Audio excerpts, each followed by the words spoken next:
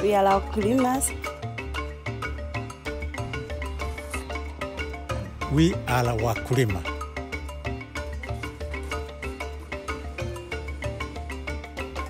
We are wakulima.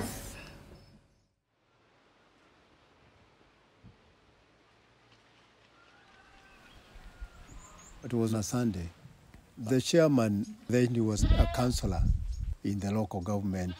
He called me and told me how this old man challenged him. Because we have been impoverished here to an extent of we are not able to educate our children, even to feed us. Can't you think of something that can assist uh, our community here? I told him, me, when I looked around this place, I found that we have cows, but we are just keeping them for just a little milk for home consumption. I think if we can uh, start a dairy, it can be a good business, and again, the animals are there. Wakulima item is like uh, my baby, because I'm one of the founder members of the dairy uh, with, uh, with the current chairman.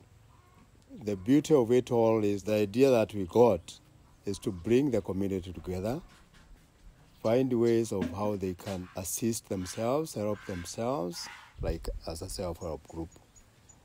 When this idea came, what we did is uh, just to call uh, a meeting, sell the idea to the people, and elect a steering committee. And so the day came where now the history of Wakulima stands, November 16, 1990.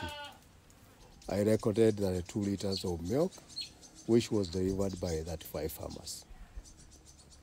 After that, every day there was an increase of milk, every day, every day, every day.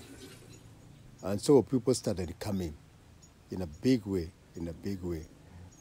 Within uh, the first five years, you were more than 5,000 members. When we were celebrating 10 years, you were more than 10,000. We introduced a veterinary service so that in case your cow becomes sick, you can call a doctor employed by Wakulima.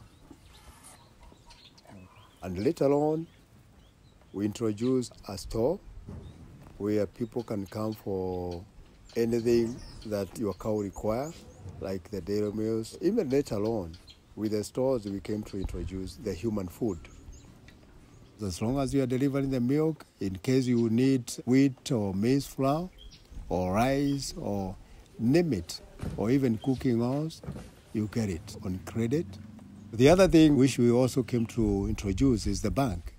And so, when I am in a fix, I could go to the bank the bank would look at my deliveries of milk and allow me to get 20,000 for educating my children. Our vision was how can we assist ourselves, people feeding themselves, people being able to educate their children, people accessing the dog when they want. This is the vision that we have now realized. We have accomplished uh, what we wanted.